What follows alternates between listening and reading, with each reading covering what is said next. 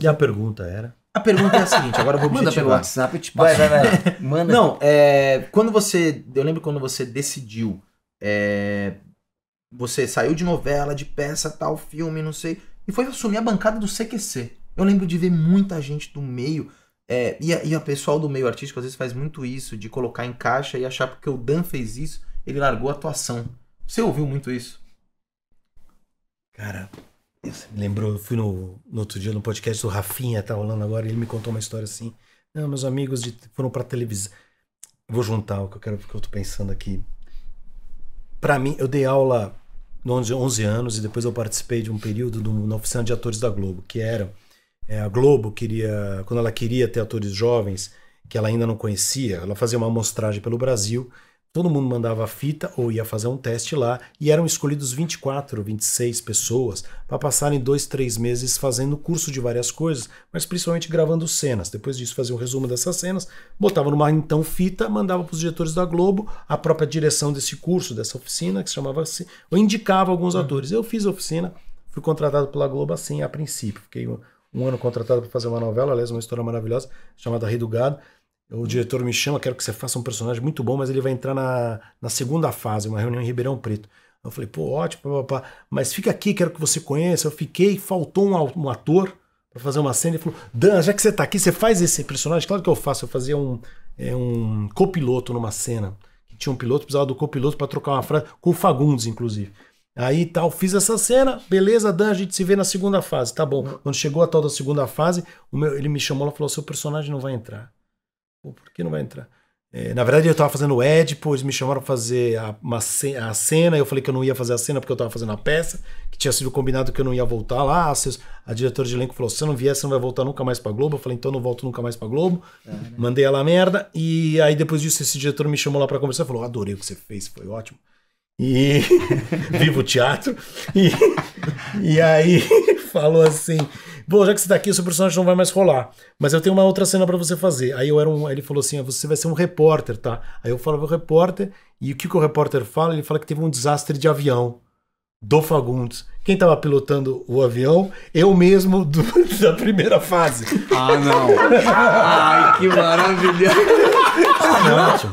Não essa história. Eu faço dois personagens. Ou eu conto que eu mesmo pilotei um avião. Você não caiu. falou isso? Você não falou que tava com problema Eu falei, cara, eu fiz esse personagem, eu era o piloto. Eu era o copiloto, porque eles falam que o piloto morreu e que assume o como assumiu a cabine, a, a coisa era o copiloto. Eu falei, sou eu. Cara, é, E ele- você- Dito que isso. maravilha. Ele faz uma novela paralela, que eles são, são gênios, na verdade. É, história muito bom, aquela coisa do ator que Muito bom, defende o personagem, ele falando. E parece que o copiloto. Há controvérsias que o copiloto bateu a aeronave. Bonito. Oh, tá homem Nossa, bonito. que né? copilotão, hein? É desperdício um copilotão dele. Dito isso, eu fui, eu virei nesse período, também me chamaram para ser assi- assistente de direção e também dirigir as cenas dos atores que estavam fazendo esse curso. E aí eu, que era o curso que eu era oficial da Globo. Por que, que eu tô contando tudo isso? Porque essa, a maioria, quem chegava de teatro, da classe, que você chama de classe, eh, nós chamamos de classe, eh, vinham. E o maior medo das pessoas não era se elas iam fazer bem a cena ou não. Não era fazer bem a cena, não é o desafio artístico, e ele pode falar sobre isso também. É o que vão pensar de mim se eu fizer televisão. Tem uma culpa. O que que minha turma da IAD, do Macunaíma, de onde eu fiz teatro, a minha turma do bar, do Piolim, vai achar de mim se eu der certo?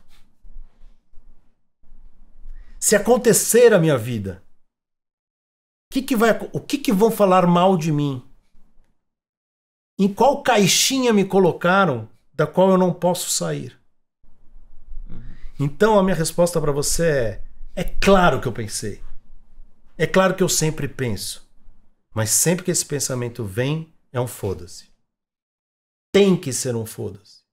Eu tenho que escolher quais são os quais são os problemas pelos quais eu preciso vale a pena realmente gastar um tempo e me preocupar. Quando a gente muda, quando a gente decide, quando a gente se impõe um desafio, a última coisa que eu tenho que pensar é o que você vai pensar dessa minha decisão. Tem que ser assim. Senão a gente não caminha, a gente não anda, a gente não avança, a gente não evolui, a gente não provoca, a gente não é ninguém. Até porque a gente nunca acerta o que o outro pensa da gente realmente. Por mais que a gente construa essa pessoa jurídica, entendeu? É, né? Sim. A gente construiu o Pelé, né? Mas, Dan, é, Então, é- sim, as pessoas devem ter falado um monte de coisa. Eu não tenho ideia do que elas falaram.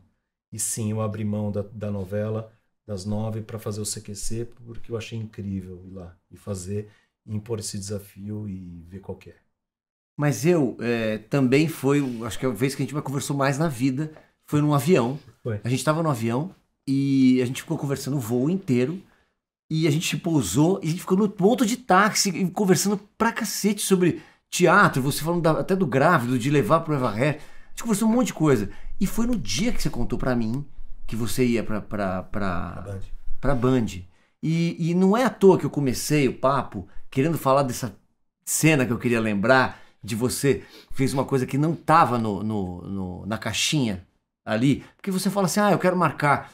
Acho que todo mundo gostaria de ter uma presença e marcar, mas ter a ousadia não é pra muitos. A televisão, ela, ela para muitos atores, ela intimida. Por mais que você esteja ali, passar do. Quantas vezes eu, eu tive que aprender, cara, se você errou e você não gostou, erra, porque não vão voltar. Não vão voltar as cenas. Se ficou meia boca pra você, segue, eles têm 30 cenas. Então, assim, tem que ter um culhão pra algumas coisas. E por isso que me chamou a atenção, aquilo que eu não vou lembrar que novela que era. Falou, porra, que culhão. O cara não só não errou o texto, como ele trouxe um texto de casa. Ele, Ah, ele, sim. ele, ele criou um negócio. E tem a ver com decidir ir, ir pro. CQC. Entende? Eu tô falando do artista que você é, que é, é para mim, o teu diferencial é esse lugar. É essa ousadia que tá no falar, essa poesia, esse poema, seja lá o que for, é o de falar, cara, eu vou largar a Globo e eu vou fazer o CQC. Que era um programa que tinha uma ousadia mais tua, porque já existia e já foi consagrado, já tinha atingido um ápice.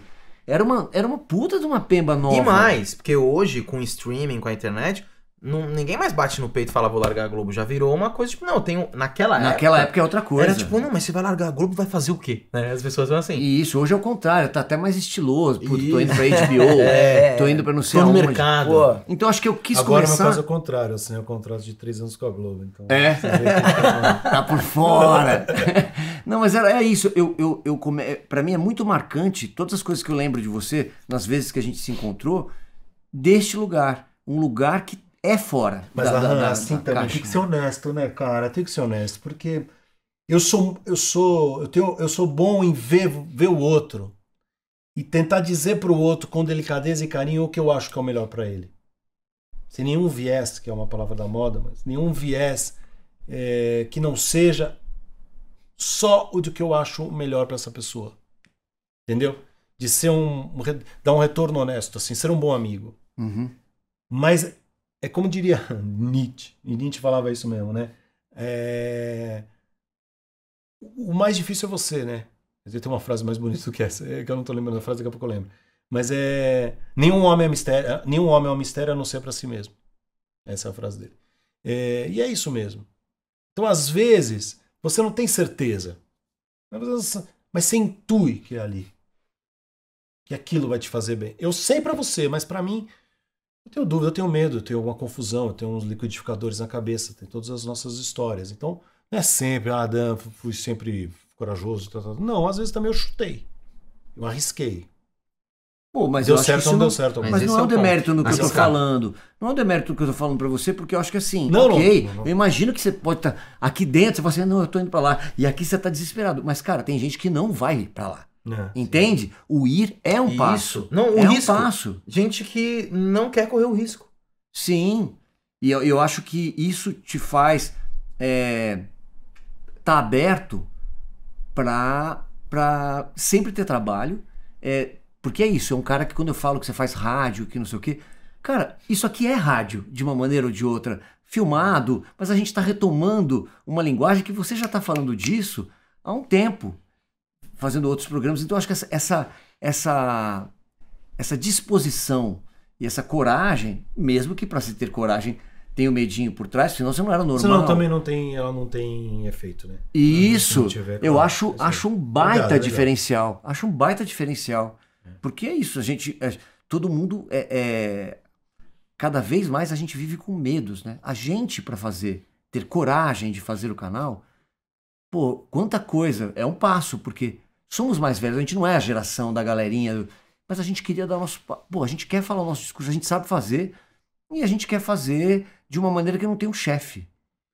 É, É uma ousadia. É uma ousadia, ainda mais no tempo de hoje, todo mundo que está nos ouvindo, vendo, enfim, para molecada é difícil porque muita coisa está sendo feita, né?